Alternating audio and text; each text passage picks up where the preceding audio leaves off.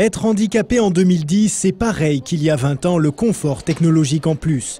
Même si la bien-pensance a permis la mise en place d'espaces accessibles et la reconnaissance du handicap dans la société, le chemin est encore long pour une intégration pleine et entière des personnes déficientes physiques ou mentales, notamment en entreprise. Écoutez d'ailleurs l'avis sur ce sujet de deux acteurs extrêmement engagés pour la prise en compte du handicap à tous les niveaux de la cité. C'était en juin dernier lors d'une remise des prix qui récompensait les actions les plus innovantes en la matière. Je citerai simplement la loi de 1987 qui est euh, la première à avoir instauré un quota légal de 6%, un quota légal puisque c'est une loi, de 6% de personnes handicapées dans les entreprises publiques et dans les administrations. Et il suffit de constater que 23 ans plus tard, euh, on est encore loin d'avoir obtenu ces quotas. Donc euh, ça progresse, mais le moins qu'on puisse dire, c'est que ça progresse pas vite. Tant qu'on restera sur des images ou des choses on sait, en se disant qu'on le sait, et que les regards ne se croiseront pas, il ne se passera jamais rien. Donc l'objectif, c'est bien ça. C'est de faire se rencontrer, mettre du lien, installer, il parlait de pédagogie tout à l'heure, ben oui, installer des pédagogies. Ce n'est pas la pédagogie du handicap qu'il faut installer, c'est la pédagogie entre les personnes humaines. Installons, euh, mettons du savoir ensemble, des connaissances, des compétences, et on s'y trouvera tous euh, bien mieux d'ailleurs. Le regard sur les personnes handicapées a donc beaucoup de mal à changer et pourtant, elles sont toutes aussi performantes que les valides. Pour en attester, direction le centre de Paris pour fêter la naissance d'un bien beau bébé, l'Union professionnelle des travailleurs indépendants handicapés, l'UPTI. Cette association est née de l'initiative d'un entrepreneur non-voyant qui souhaite proposer toute une palette de services, ainsi qu'un soutien et un accompagnement à tous les indépendants, porteurs de projets et créateurs d'entreprises en situation de handicap.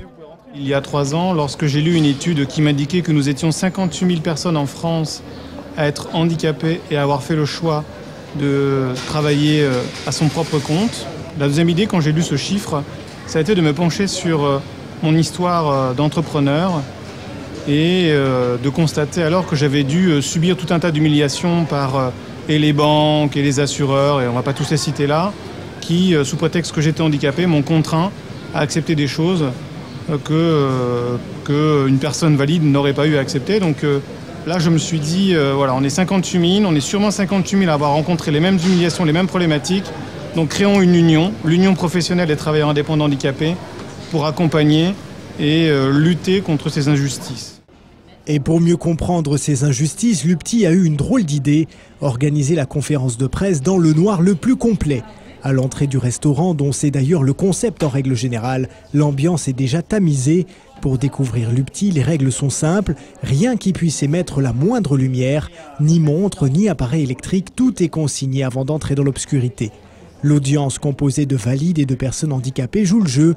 Nous voici donc partis en file indienne, dans un univers où le toucher, l'ouïe et l'odorat seront nos seuls repères.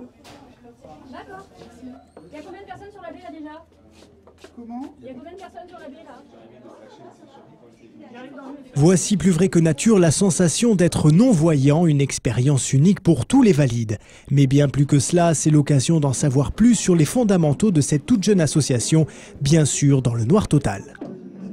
L'UPTI euh, souhaite accompagner donc, les travailleurs indépendants handicapés. On entend par travailleurs indépendants handicapés toute personne évidemment handicapée qui vit d'un travail sans avoir de lien de subordination par le salaire.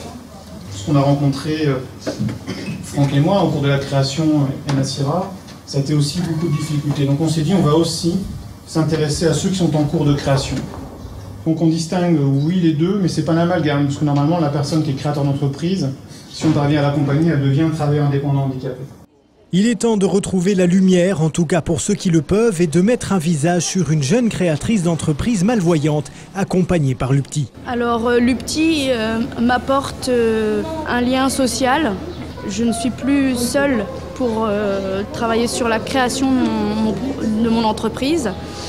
Elle m'apporte aussi une, motivation puisque euh, dans l'activité de coaching d'entrepreneurs, eh bien, il y a un travail régulier et méthodique sur, sur cette création d'entreprise. L'UPTI a donc pour ambition d'accompagner les travailleurs indépendants et les créateurs d'entreprises dans leur quotidien et surtout de crier haut et fort qu'être handicapé n'empêche pas d'accomplir de grandes choses. Être euh, handicapé et être euh, entrepreneur Je dirais qu'il n'y a aucune incompatibilité a priori. Ce sont avant tout des êtres humains qui ont des projets et qui ont envie de vaincre. Ces êtres humains ont été frappés par la vie à un moment, frappés par la vie qui, leur ont, euh, qui lui a pardon, apporté un handicap, soit par la naissance, soit par la maladie, soit par l'accident. Donc il n'y a aucune différence dans la volonté. En revanche, le parcours peut être parfois semé d'embûches lorsqu'on est entrepreneur et c'est encore plus vrai lorsqu'on est entrepreneur handicapé. Donc l'idée de l'union, c'est de lutter contre ces embûches et d'apporter des solutions pour accompagner euh, la personne handicapée dans l'épanouissement complet de son projet professionnel.